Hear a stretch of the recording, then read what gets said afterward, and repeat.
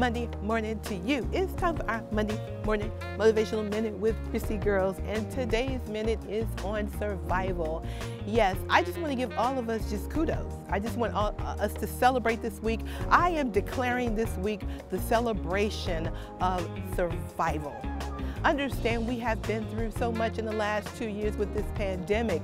We've been through financial issues, health issues, issues with our families, religious issues, you know, all kinds of issues we have been through and we have survived. And we do know that many did not. And so if we're here, we know that we're here because there's purpose for us in our life and there are things for us to do. But right now, let's just take this week to just celebrate the fact that we have survived. And there is nothing that you can't do. I'm convinced.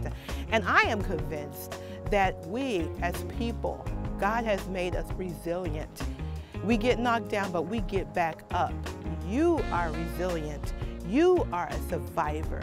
So this week, let's just celebrate that we're survivors and we're going to make it. No matter what's going on in your life, understand you're a survivor. Remember, someone's waiting for you to make a motivational move, so get moving on purpose.